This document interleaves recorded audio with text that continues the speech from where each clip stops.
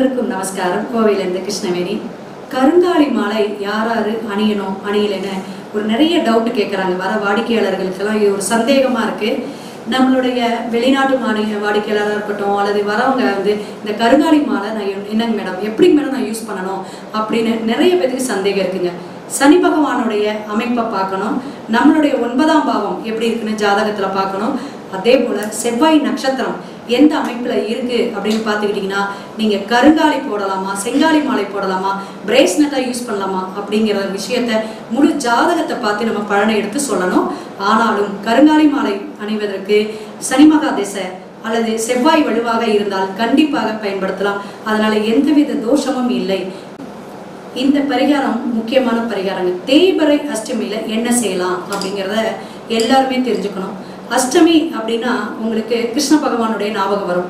இருப்பினும் அது ஒரு மைனஸை கொடுக்குமோ அப்படின்னு ஒரு அச்சுறுத்தல். இருந்தாலும் இதுக்கு பரிகாரம் தான் இருக்கணும். எளிய பரிகாரங்க. தெரு நாய்களுக்கு தெருவில் சுற்றிட்டு இருக்கிற நாய்களுக்கு கோதுமையில் செஞ்ச செய்யப்பட்ட உணவுகளோ அல்லது கோதுமையில சப்பாத்தி செஞ்சு நீங்கள் கொடுங்க. அதே போல் பிஸ்கட் வந்து வாங்கி கொடுங்க. அதில் வந்து இனிப்பு அதிகமாக இருக்கக்கூடாது. மேரி பிஸ்கட்டு இது மாதிரி வாங்கி நீங்கள் கருப்பு கலந்த அல்லது கருப்பு நாய் ரொம்ப உடல்நிலை பாதிக்கப்பட்ட நாய்களுக்கு கொடுத்து பாருங்க. உங்களுடைய கர்ம வினை நீ தீரும். அதே போல உங்களுடைய தொழில் வளம் சிறக்கும். உங்களுக்கு அந்த வாரம் அந்த மாதம் ரொம்ப மன நிம்மதியை கொடுக்கும். இதை முயற்சித்து பாருங்க.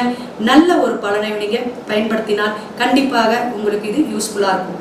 அதனால தேய்பிறை அஷ்டமியை எல்லாரும் ஒதுக்கணும் அது ஒரு சக்சஸா அமைச்சுக்கணும்னா இந்த பரிகாரத்தை நீங்க பயன்படுத்தி பாருங்க. வாழ்க வளமுடன் சிவாய நம.